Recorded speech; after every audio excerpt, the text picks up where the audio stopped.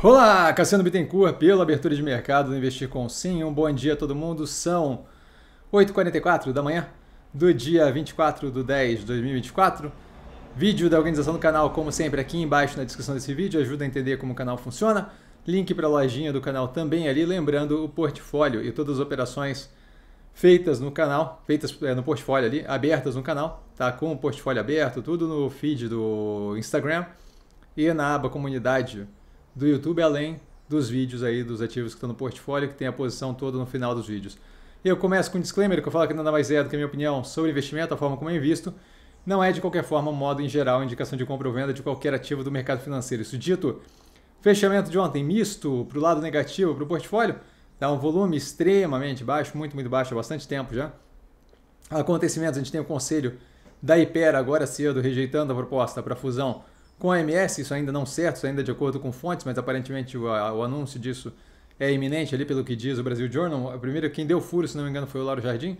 Tá, a Renner, que a gente tem em portfólio, com bonificação de ações de 10%, para cada 10 ações devemos ganhar uma ação a mais. É como se fosse pagamento de dividendo, muda zero, é que como é feito de uma forma diferente, é bom avisar aqui, porque a galera começa a ficar com dúvida, mas basicamente é como se fosse pagar dividendo. Tá? É uma forma de remuneração dos acionistas, com aumento de capital isso daí.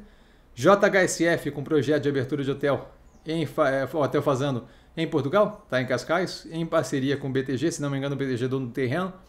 E a Vamos e a Simpar aprovando combinação da rede de concessionárias com a Automob, de modo a justamente dar mais um passo na direção do spin-off, da cisão ali da Automob como operação, na verdade, da cisão de toda a parte de concessionárias de dentro da Simpar e um pedaço de dentro da Vamos, para fora da operação para rodar de forma independente junto ao grupo.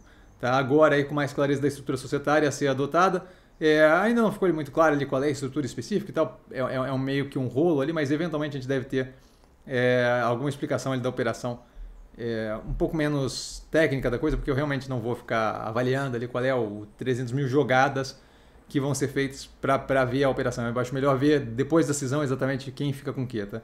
Ativos que eu estou observando mais de perto com base no fechamento de ontem: Grupo Cas Bahia, Açaí, Multi, Azul, é, Minerva, Cruzeiro Sul Educacional, Neogrid, Lojas Renner, Mobile e XP. E dúvida, dúvida estou sempre no Instagram, arroba investir com sim, só ir lá falar comigo.